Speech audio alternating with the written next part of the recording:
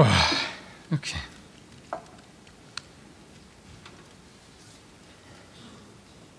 I mean, everybody's pretty much exhausted, right? I mean, I am. Um, hello. I wanted to thank um, Sonic Acts. It's really fantastic to be back. Um, has been uh, long. Thank you, Lucas, Annette, certainly, and everybody. Um, you know, one of, I mean, Sonic Acts is like, I just want to put in some, some praise here because it's really a unique uh, place uh, for me, and I've seen a lot of places and festivals, and there's something just uh, exceptionally inspiring about Sonic so I'm, I'm thrilled. Um, thanks to the Stedelijk as well. Um, I like to be part of the Geologic Imagination. That's a joke. Um, it's a kind of, I mean, the whole thing, right? I mean, the whole Anthropocene um, kind of thing um, is sort of also an, an, acknowledgement. I think in some, some, you know, there was some talk about this that it's, it's probably too late already, and so we are sort of managing the decline. Um, I was, I really want to talk about this very briefly because I was obsessed in the last years with the uh, zombie apocalypse. So I was um, for way too long looking at anything viral outbreak, um, you know, end of electricity, zombie apocalypse, which kind of encapsulates all of these subgenres, really, like the end of civilization as we know it, the breakdown, and then a return to a more primal, direct, you know, kind of uh, primitive sort of lifestyle, right? I always think when I look at these uh, things, I think under no circumstances I would like to be caught in the zombie apocalypse because I don't own weapons and all these kind of things. I'm, I'm, I'm painfully unprepared. Um, and living in the United States, I feel I would be just surrounded by all the wrong people with a gazillion of guns and all the right things in such a moment.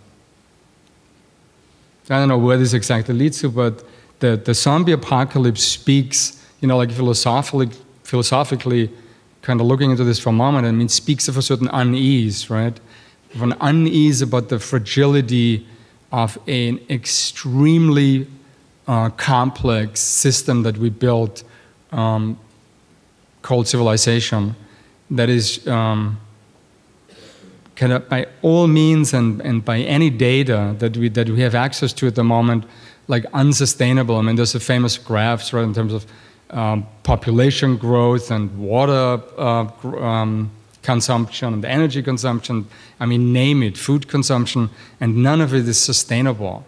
So we keep going anyway. And I'm not a pessimist, but I perfectly think it's really sort of gone. I mean, this is like I don't think this can meaningfully return because it would require like so much conscious, mature, and together, you know, as a collective, as a global collective, together kind of action. And I don't really see that, certainly not in the United States, um, and, and really in the end, nowhere.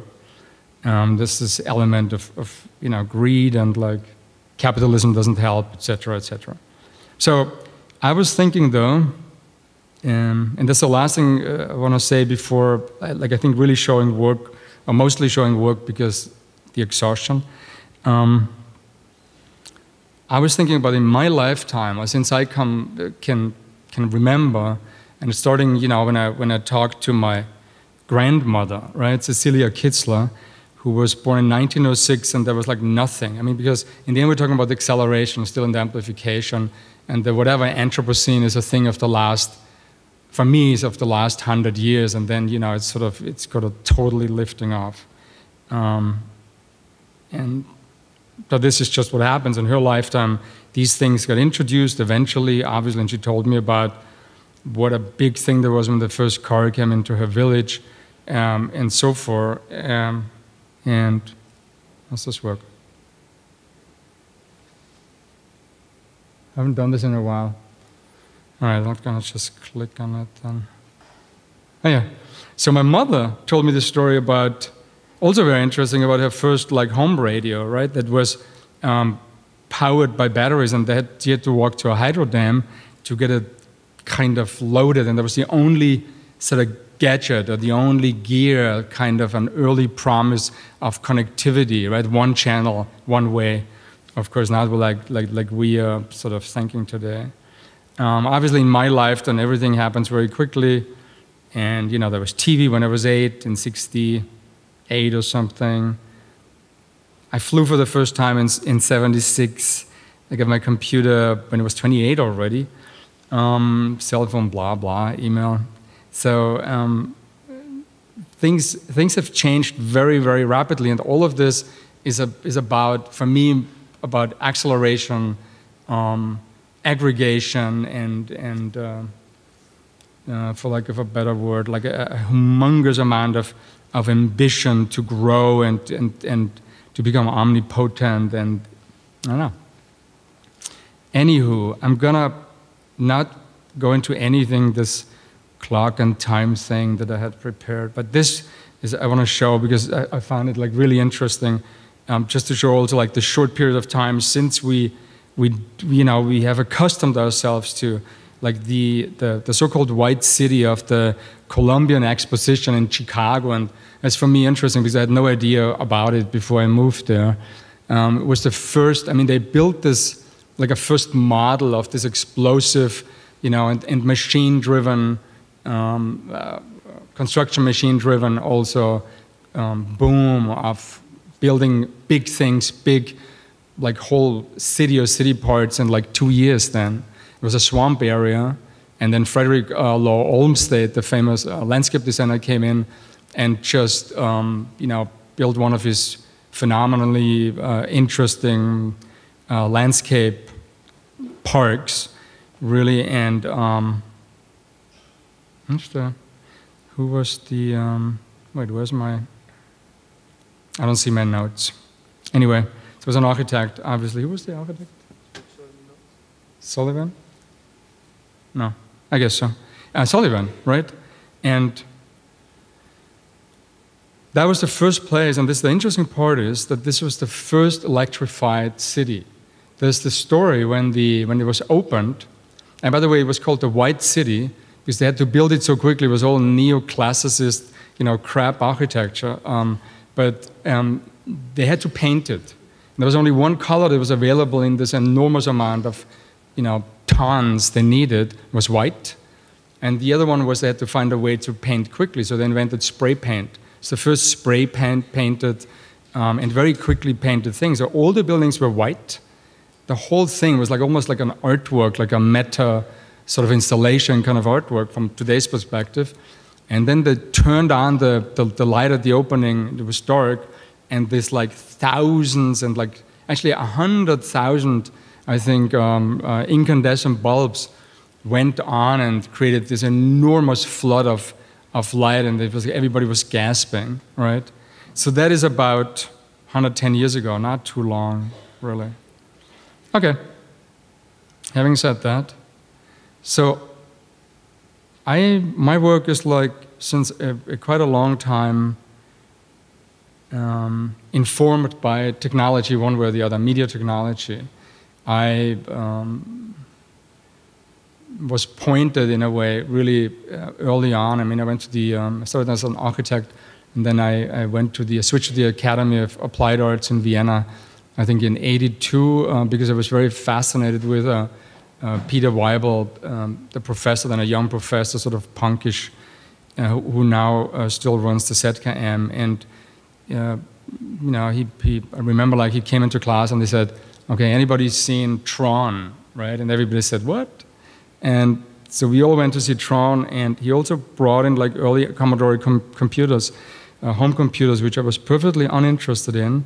But a couple of years later, with the uh, Amiga 500, I think it really hit me, and so that there was this like enormous promise and potential of, um, you know, the digital whatever revolution. So uh, I got into that. Um, what you see here is a a piece called Noise Gate uh, from my period with Granular Synthesis, a collaboration with Ulf Langheinrich that lasted from about uh, 92 to 2003. Uh, we did a lot of performances and all mediated, you know, without the performer and the flesh and us more like operators behind the, the, the audience.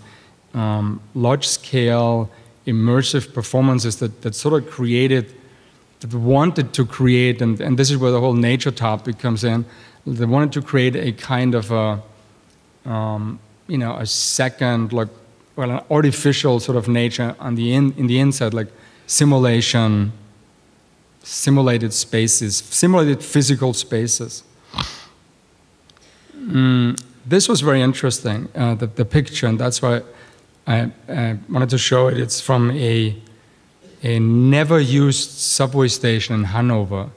The uh, Kunstverein Hanover uh, showed the piece, and uh, we were looking for um, um, an interesting enigmatic space.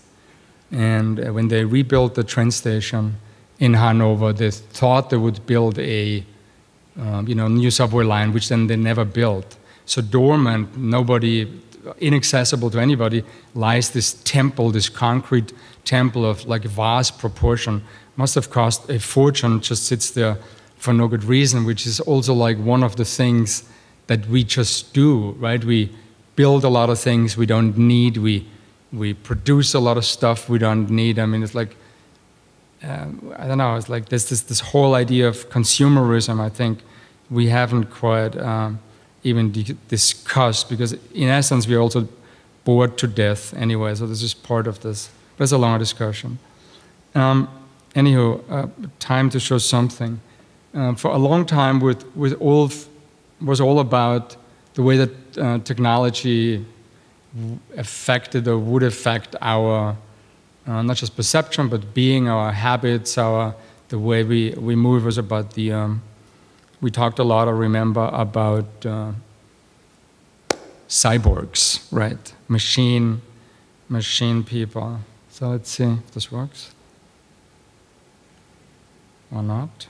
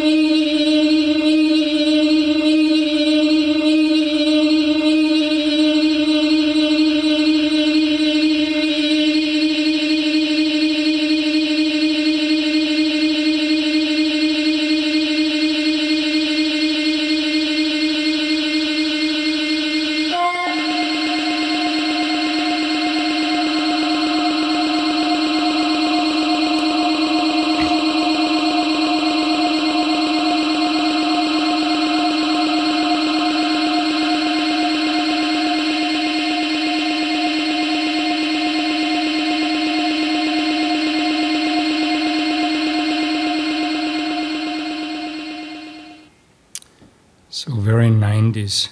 Um, it's actually the part after is, is um, but we don't have time. Second part is actually uh, more interesting. Anyway, um, I'm just rushing through this. Um, so after that, after uh, granular synthesis, when, when Ulf and I went back to being like uh, both solo artists again, um, sure. Oh, cool. Oh, awesome. Thank you. Um, I started working uh, with uh, 3D uh, real-time uh, simulation systems based on um, game engine technology. And one of the reasons that I initially I just wanted to have something that was more uh, intuitive in real time that I could compose with on the fly, rather than you know doing um, editing, rendering, and all these, these sort of steps that, that a, a, more complex production needs. Of course, it turns out like that was way more complex, but uh, I did these.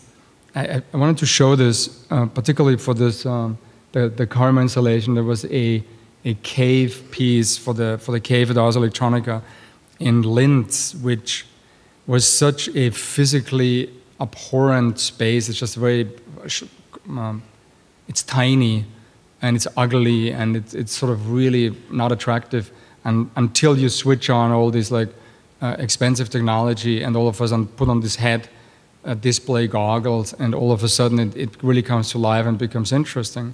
And I remember thinking then, and this is still something I, I keep thinking, that while we while we obsessively right build this virtual end or this parallel planet, which is not a parallel planet any longer, because it is perfectly part of what we do and integrated and, and is really one world now. So that process is kind of is gone also.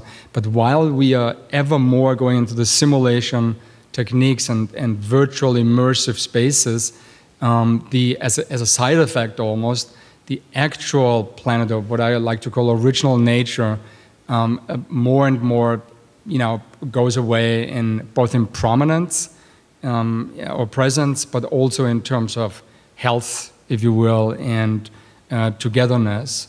So we, it's almost like it's a weird transition from, from the, both from the outside, living, this is like also part of civilization, from the, you know, unshielded, exposed outside to the ever more shielded and ever more um, constructed like inside that's kind of simulates outside with these kind of things.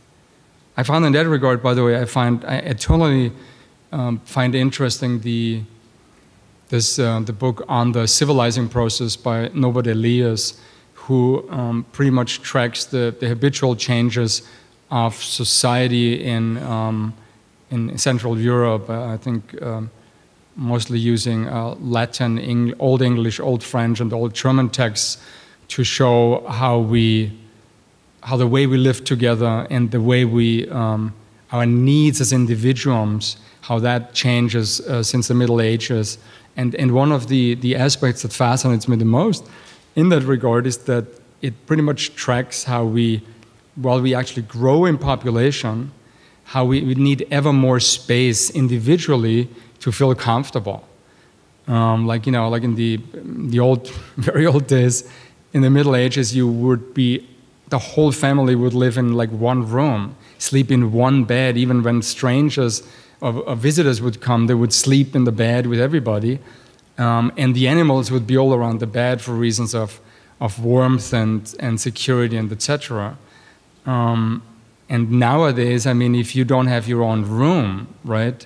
It's like kind of op oppressive. Um, most people at least feel like that. And I remember when I came to New York, in the early uh, years in New York, I was really, I was very fascinated by the, the advertisements, the real estate advertisements in the New York Times that had like floor plans. And the floor plans in the, for, for wealthy uh, people in, in bigger apartments. And it, and it showed like a floor plan pretty much resembled like you know a series of individual apartments like gathered in a kind of a meta apartment or like a um, it's a cluster of mini apartments forming like a bigger apartment so each child and, and everybody in the household has their own room, their own bathroom, their own walk-in closet. It's a complete, unique, discrete sort of unit. So there's like this imbalance, right? We grow, we, be, we become bigger, but we, we need more space, we need more um, of everything. It's a, it's a weird um, kind of logic in that. Anywho, okay. Um, I started working um, in about 2004 and five. I started um, finally following up on an idea um, about a truly immersive physical space that had sort of traits of, na of natural uh, landscapes, but extremely amplified and exaggerated, mostly using fog and, and stroboscopic light and um, pulse lighting, which um, was initially a performance feed and then later on ZEE. And I'm going to show a very quick, because you cannot really document the effect. In essence, you're in, uh, you're in inner space, you see nothing, you don't see the hand in front of your uh, uh, face, and so you are kind of, the space collapses onto you, and you are really quite isolated. Um, but at the same time, particularly the stroboscopic frequencies create this like kaleidoscopic 2D, 3D infinity effect that seem to emerge from within you and, and perfectly transcend the boundary between you know the in the inside of us and the outside. Um, it's like a bathing in, in, in, in, pure light of sorts. So in when he was in New York, we, we did a documentation just of audience feedback to that. I don't know. I don't know how I want to word it. Um, it's really hard to say something smart about something that's so like purely sensual.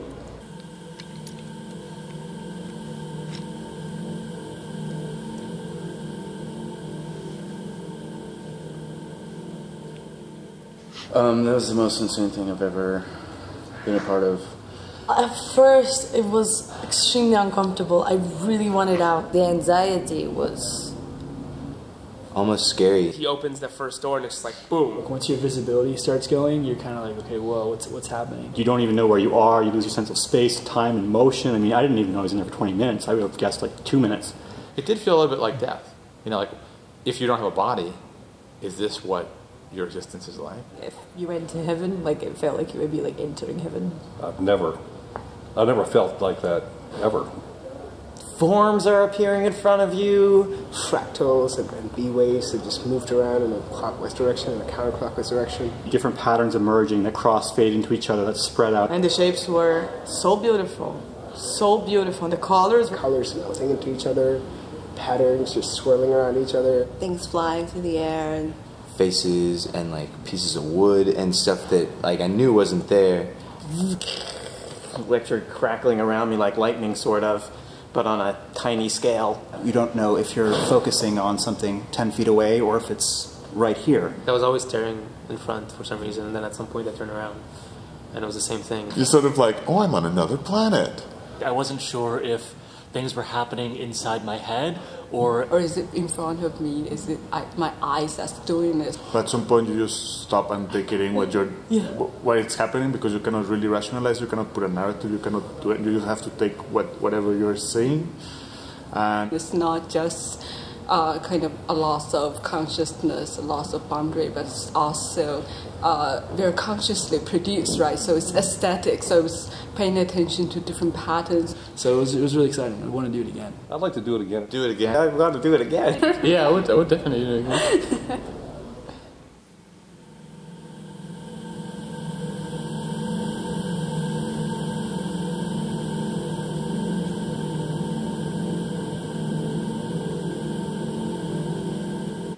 Okay, so after like a quite really long period of time, like spending, um, I mean, I grew up. I didn't mention that. I grew up like halfway in the in the countryside, and halfway in a small city, uh, Linz, which is about 200,000 uh, inhabitants. And then um, I think with 18, I moved to Vienna, and since then, pretty much one way or the other, I, I live in in cities. And I think that's also like really an, an important factor and the so-called uh, Anthropocene, or like in, in the, the world we're living today, that the majority of people already lives in cities, and I think in another 20 years, it's going to be 75% of all world population will live in a city. So we have gone equally so, I think, within pretty much 100 years from you know a majority of people living in, in, in more like in an open, natural, landscapey, uh, nature landscape area to um, cityscapes, right? And then cityscapes become like what when you when you grow up and you're born in a city, um, that's like what, what really nature is or, or, new nature is. My wife has never slept um, in the outdoors, and for her, the idea to sleep in a, without a, a shelter is absolutely abhorrent or like shocking. Um, so that's gonna do, you know, that defines a certain kind uh, of mindset, and I think it's, it's, also like a preliminary step in, in, in being not that upset about things going away that you don't even know about, that you've never really been intrinsically or, or you know, in a kind of way emotionally involved with. Um, so in, in, instead, anyway, and this is like another thing that happens, and you know you can see it on all TV channels.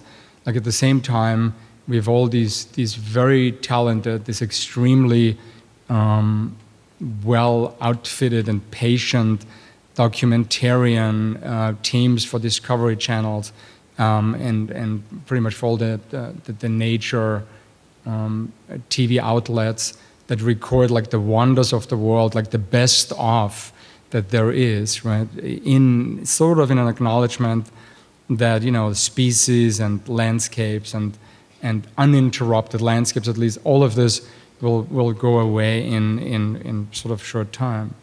So that sort of anyway, I, I, got this urge about five years ago to, to revisit uh, open landscapes and, and leave the city and the airports and all of that. And um, I, of course, and this is prototypical, I, I, defined it as a, as a, as a project, right, as a, as a work project, uh, as much as a meditation on the idea of nature. So what I found really, and, and what is in all these works that I have done since, and this is one of them, Sector 2C, like an, an early example. It, um, it's really about constructed reality, um, which is obviously media reality. So it's uh, about editing, animating, you know, layering, transforming, um, and certainly se selecting. It's a very selective form of perception. Um, the work that I'm showing here at Sonic Acts is the latest in the series. It's called Measure. Um, I think for obvious, if not too literal reasons. And it's a series of tableaus, really. I, I mean, I'm not gonna, I'm gonna show a, a, quick excerpt, but generally it's in the, it's in the Stedelijk. So if you have time, uh, go see it. 17 minutes long, and it's uh, kind of I call it like sometimes my attention deficit disorder piece. It's, it, it sort of go, keeps going, you know, from one supposed spot to the next, never really going anywhere.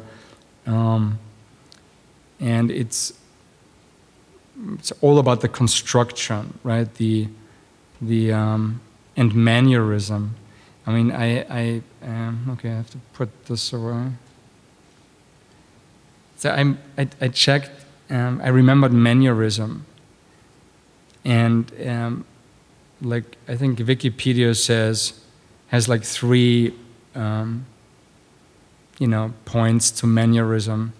Uh, one, a distinctive behavioral tr behavioral trait, especially one that calls attention to itself and idiosyncrasy.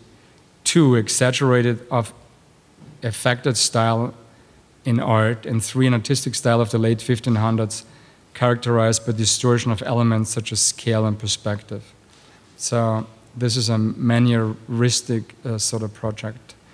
And uh, let's just go to the excerpt.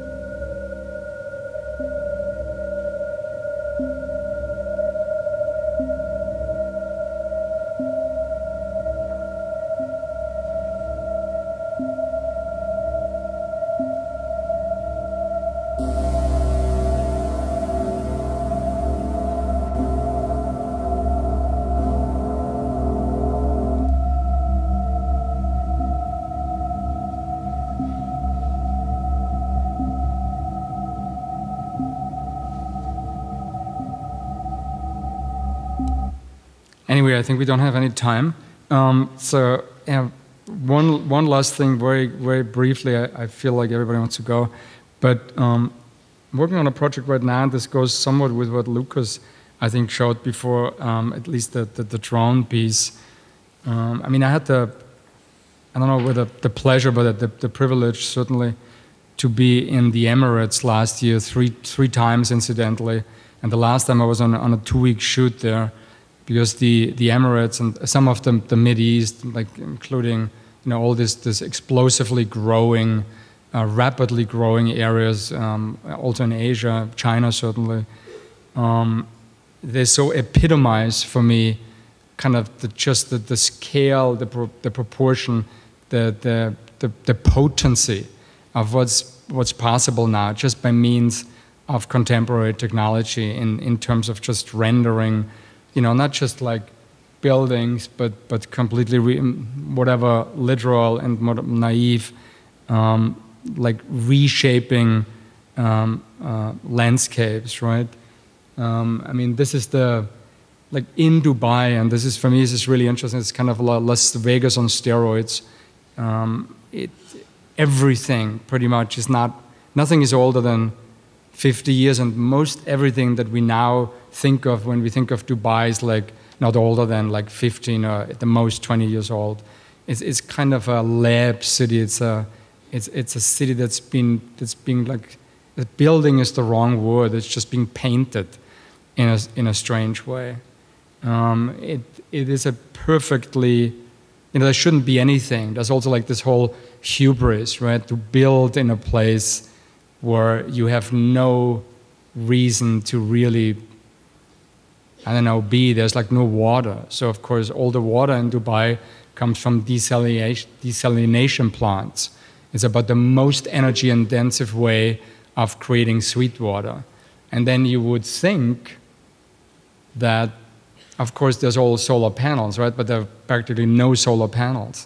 And it was interesting because a former student of mine um, of the Art Institute um, actually was um, growing up there as a Chinese Dubai, and of course will probably never be citizen. There's 15% uh, native Arab population and 85% um, from all over the world, like guest laborers who have you know temporary uh, visas and um, allowances to stay, but otherwise no entitlement. Um, I think you can be apply for citizenship over 20 years if you never have left for more than like two days or something. So it's, it's really wild. I mean, so in, in it's the biggest Indian population outside of the subcontinent. Um, anyways, it's, it's a sci-fi city, and I always thought of it as um, in some of the styles and the, the sensibility is really Star Wars. Um, it's very, very 20th century, um, and certainly technology. And so I asked Lee actually why they wouldn't use, you know, solar because it's all new. Why don't you just go with the, you know, what's possible?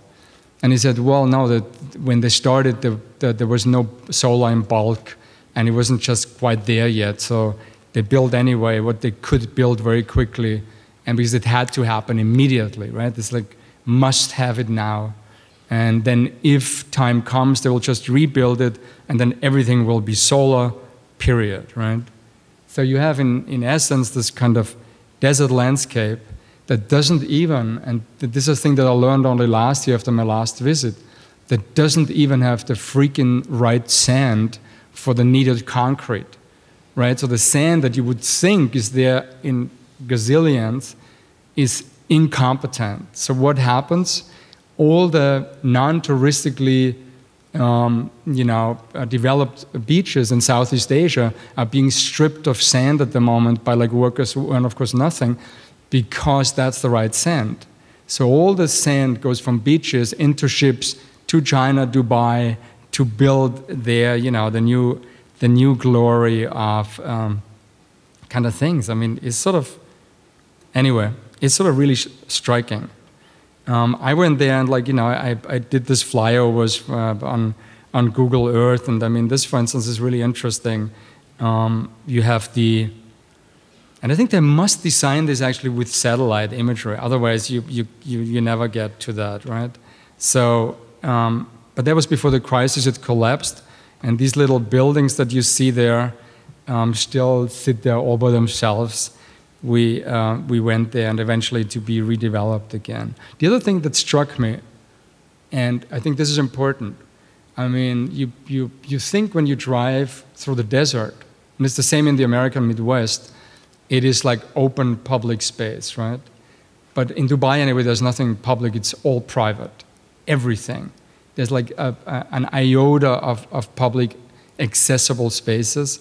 Um, in the American Midwest, I mean West, like, like here, there's just like uh, Salt Lake City, you have um, some parks, but mostly it's like either military, which is not really public at all, or like, you know, uh, industry that is by definition always toxic.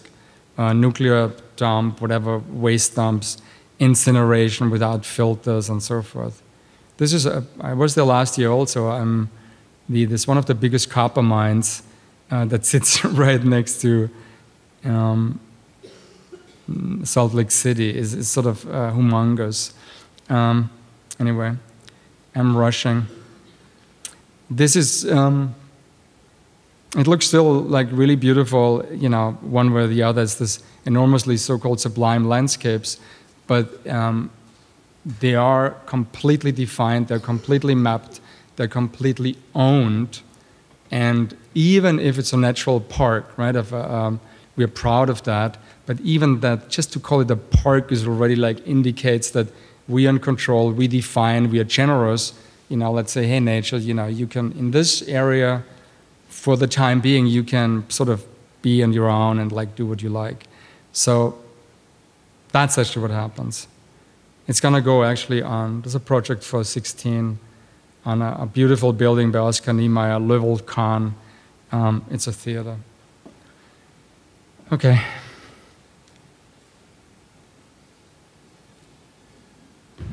That's it.